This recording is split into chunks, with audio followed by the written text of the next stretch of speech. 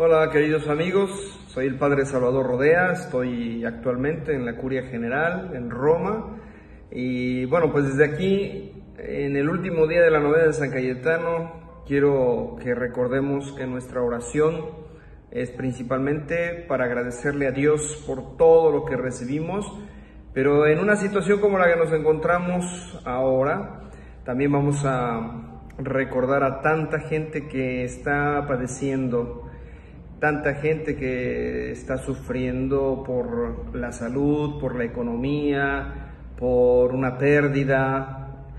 Y al final nosotros estamos aquí. Quiere decir que hemos eh, recibido muchas gracias de parte del Señor. Así que nunca olviden darle gracias a Dios. Así que en este último día vamos a pedir por los peregrinos. San Cayetano, te pedimos que intercedas ante Dios nuestro Padre para que abra nuestros oídos, ablande nuestro corazón y avive nuestro entendimiento, a fin de que podamos escuchar y vivir su palabra. Que todos los que nos acercamos a tus pies seamos como vos, San Cayetano, fieles a Dios, perseverantes en la búsqueda de la justicia, de la paz y del amor y plenamente confiados en la providencia de Dios.